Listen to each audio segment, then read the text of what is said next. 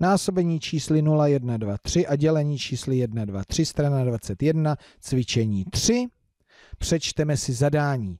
Vypočítejte, kolik korun zaplatíme za nákupy. Tak, co máme kupovat? 6 rohlíků. Jdeme do obchodu, rohlík stojí 2 koruny, čili výpočet 6 krát 2 rovná se, už to slyším, 12.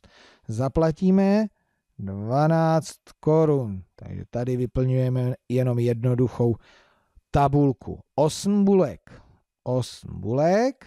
Po kolika jsou bulky? Po 3 korunách. 8 krát 3 rovná se 24. Zaplatíme 24, ale čeho? Korun.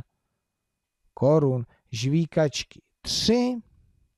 Po kolika jsou žvíkačky? Po korunce 3 krát 1 rovná se 3.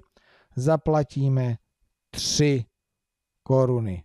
No tak tohle to je fajn. Tady tři, tři řádky tabulky na vyplňování nestačí. To si myslím, že si můžete zahrát nějaký vlastní obchod.